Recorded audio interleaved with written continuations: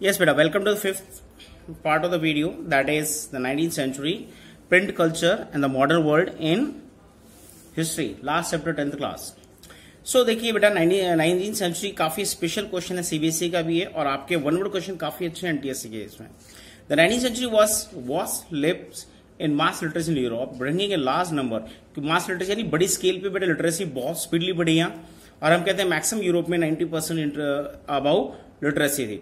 और इसी से नए लिटरेसी आए बेटा चिल्ड्रन वुमेन वर्कर्स इन्हीं तीन वर्ड पे क्वेश्चन भी बनता है। देखिए चाइल्ड वुमेन वर्कर्स इनके अलग अलग पैरा दिए हैं बेटा। फ़र्स्ट चाइल्ड पे है as primary education become compulsory from the late nineteen century children become a important category of leaders अब ये बड़ी इंपॉर्टेंट कैटेगरी क्योंकि नंबर इनका ज़्यादा होता है बेटा, और कंपल्सरी एजुकेशन ज़रूरी हो गई थी नाइनटीन सेंचुरी में हर एक कंट्री में।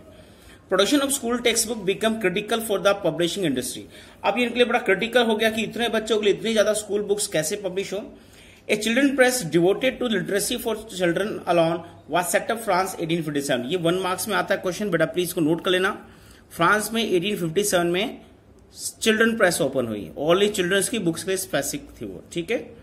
The press publish new works as well as old fair tales अभी कुछ नए काम भी किए बच्चों के लिए और फेयर टेल्स भी बनाई ठीक है? जो परियों की कहानी वगैरह, उनको भी बच्चों के लिए पब्लिश किया।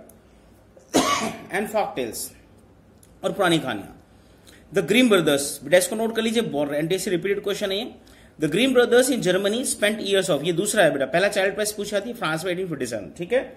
अब आता ग्रीम ब्रदर ने बेटा जर्मनी में compiling traditional folk tales gather from peasants अब उसने आम लोगों से बेटा ये पुरानी ट्रेडिशन फोक टेल्स कलेक्ट की कंपाइल किया बुक फॉर्म में and what they collected was edited before the stories were publish in a collection eighteen twelve उन्हें जो भी चीज़ें कलेक्ट की थी बेटा कंपाइल किया उन्हें और उनको एडिट किया। यहाँ याद रखना एडिट किया, उन स्टोरीज को पब्लिश किया एटीन ट्वेल्व में कलेक्शन के रूप में। उन्होंने एडिट किया, उसका आगे दिया देखिए। Anything that was consider unsuitable for children edit क्या किया? जो सुटेबल नहीं थी बच्चों के लिए, वगलर थी, अलग थी, खराब थी, उन चीज़ों को बेटा इन कहानियों से निकाल दिया ठीक है? और would appear vulgar and to the elite was not include in the publish version तो इसमें खराब चीज़ थी, उन चीज़ों को बेटा इन्होंने पब्लिश से बाहर कर दिया। Rural folk tales thus acquire a new form अब जो पुरानी गाँव में फोक टेल्स को एक नई फॉर्म मिली, नई image milli. In this way print record old tales but also change them तो इसी तरह से बेटा बच्चों के लिए बात करें बुक्स पब्लिश हुई, उनमें पुरानी फोक टेल्स को दोबारा से लिखा गया, दोबारा से प्रस्तुत किया गया बट एक नए तरीके से चेंज करके, ठीक है? सेकंड पढ़ते वुमेन्स का पैरा बेटा। Women became the important as reader as well writer अब ये दोनों रोल प्ले कर रही थी। ये राइटर भी थी और रीडर भी थी बेटा और बड़ी स्केल में थी। क्योंकि हम बात करते हैं, जैसे वहाँ इंडस्ट्राइजेशन आया और लग्जरी एक्टिविटीज़ हुई एलिट क्लास हुई मिडिल क्लास आई तो वुमेन के पास बहुत ज़्यादा टाइम था घरों पे इस रीडिंग वगैरह हैबिट्स वगैरह को ग्रो करने के लिए, ठीक है? और रीडिंग के साथ साथ वो राइटर्स भी बनती गई, अपनी नॉवल्स अपनी ऑटोबायोग्राफी ये चीज़ें वो लिखने लगी। देखिए सो द पेनी मैगजीन सबसे फ़ेमस है बेटा, ये लेडीज़ के लिए इंपॉर्टेंट थी। लेडीज़ रिलेटेड पेनी मैगजीन बहुत पॉपुलर हुई यूरोप में। और specially meet for women as per manual teaching proper behaviour and house keeping तो इसमें दो बड़े ज़्यादा मैगजीन्स के बड़े टॉपिक्स यही थे। एक तो उनका behaviour how they proper behaviour and house keeping घर की देख रेख वाली topics when novels begin to return in the nineteen century women's were seen as important reader अब नाइनटीन सेंचुरी में सबसे बड़ा एक और चीज़ आई नॉवल्स पेनी मैगजीन में तो था ही वुमेन के लिए बट जब नॉवल स्टार्ट हुई बेटा, उसमें सबसे बड़ी रीडर वुमेन थी. And some of the best non novelist were women और सबसे अच्छी जो नॉवलिस्ट थी बड़ी, वो वुमेन नहीं थी बेटा. यहाँ तीन नाम दिए ये आपका चार नेम आते हैं ऑड वन आउट करना होता है बेटा. इनको देख लेना. Jane Austen Bronte sister and George Eliot ये तीनों है बेटा, बड़ी फ़ेमस नॉवलिस्ट थी.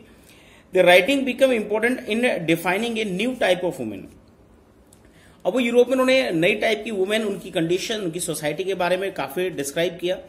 And a person with will and strength of personality and determination and power to think ये वुमेन की कुछ फीचर्स इनको उन्होंने अपनी नॉवल्स में शो किया।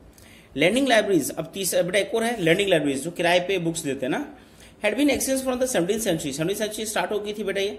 And the nineteen century landing libraries in England became instrument for educating white collar workers artisans and low middle class people हम workers की बात कर अब इनके लिए बेटा लर्निंग लाइब्रेरी सबसे इंपॉर्टेंट थी। वहाँ से सस्ते थोड़े से पैसे में ये बहुत सी बुक्स ले सकते थे, पढ़ सकते थे write sometimes self educated working class people wrote for themselves अब जो खुद पढ़े लिखे, यानी इन्हीं लाइब्रेरी इन्हीं बुक से वो पढ़े लिखे, और इन्होंने फिर अपने बारे में लिखना भी शुरू कर दिया।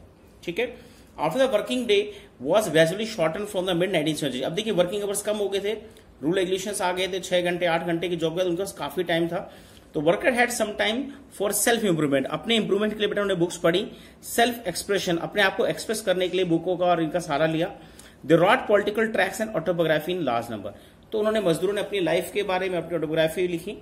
अब राइट साइड में बेटा आपका एंटीसी क्वेश्चन दिया है। अच्छे से देख लेना थॉमस वुड लिख लेना please Thomas Wood a Yorkshire mechanic please repeat कर रहा हूँ थॉमस वुड यॉर्कशायर मैकेनिक थे ये narrated how to the rent old newspaper पुराने न्यूज़पेपर ये रेंट पे लेते थे. And read them to fire light और रात को जो बाहर फायर लाइट वगैरह होती, उसके रोशनी में पढ़ते थे. Evening and could not afford candles candles के पैसे नहीं थे उनके पास तो बाहर फायर लाइट होती थी, उसी से सारे पढ़ते थे.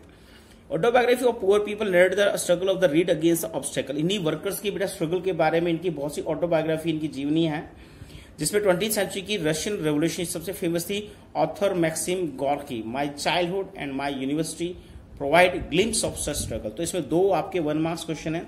एक तो थॉमस वुड यॉर्कशायर मैकेनिक उसने बेटा रेंट पे न्यूज़पेपर लेके पढ़ता था कैंडल गरीब आदमी था। तो उसकी स्टोरी दी है। और ऑटोबायोग्राफी ये बहुत बार आ चुकी है बेटा। मैक्सिम गॉर्की, रशिया के हैं ये, और my childhood and my university provide ये इनकी एक बुक है जो जिसमें सॉरी उसने अपनी ऑटोबायोग्राफी लिखी है। ठीक है? Come to next please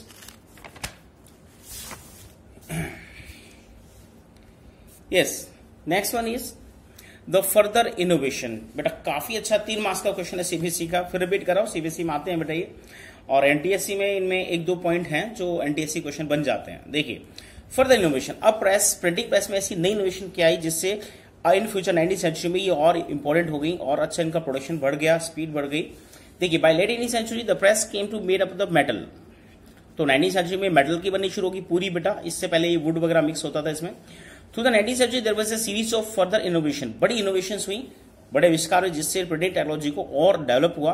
by mid eighteen century पहला है बेटा वन मार्क्स क्वेश्चन एनटीएससी का नोट कर लेना Richard M Hoe New York he prefer the power drive and cylinder press अब इसने power drive and cylinder press बना दी राइट अब ये वो होता है ना, जैसे आप जेसीबी वर्क करती है, उसमें प्रेशर से आगे और पीछे होते हैं राइट तो इसी तरह से पावर सिलेंडर इसमें ऐड कर दिए और इसकी स्पीड बढ़ा दी बेटा इन्होंने, ठीक है?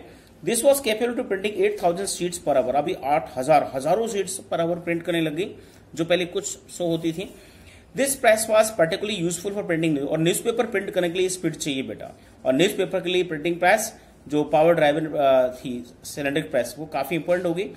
In the late the offset print ये बड़ा बड़ा सुधार था लेट नाइनटीन में ऑफसेट प्रेस जो आपके न्यूज़पेपर है, उनमें देखो आपको चार कलर के डॉट दिखते हैं। वो कलर मिक्स करके कलरफुल फ़ोटो बनाते हैं। उन्हीं की बात कर रहे हैं।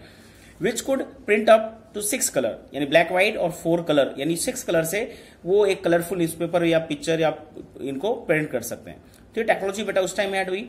From the turn of the twenty century अब ट्वेंटी सेंचुरी की बात करते हैं electrically operated press accelerate the printing operation अब इलेक्ट्रिसिटी ऑपरेटेड प्रेस आ गई मोटर्स आ गई बेटा छोटी और उससे इसकी स्पीड और बढ़ गई। A series of other development followed अब इसके बाद कुछ सीरीज़ और आई बेटा बड़े बड़े इनोवेशन की। पहली है method of feeding paper improve अब फीडिंग पेपर भी ऑटोमेटिक हो गया, बेटा आप मशीन अपने आप पेपर लेने लगी। पहले थोड़ा इसे मैनुअल था इजी होता था। पर जब फीडिंग पेपर हुआ तो इससे स्पीड बढ़ी।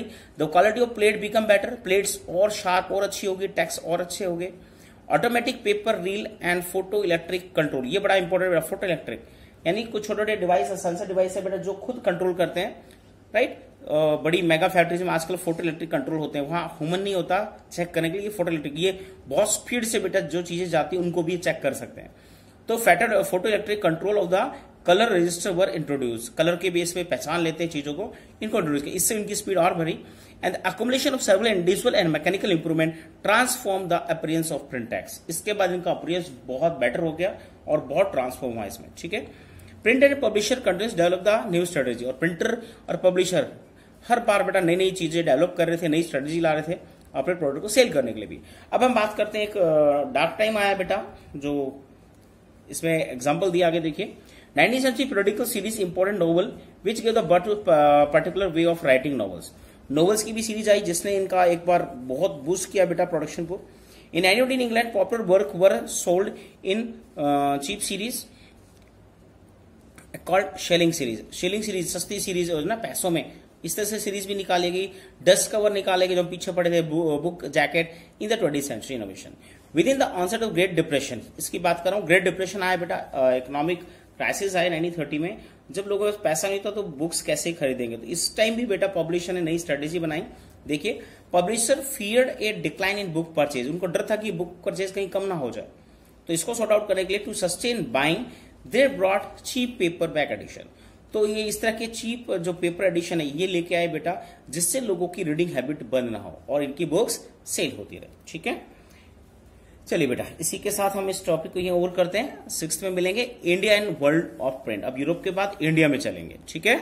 Thank you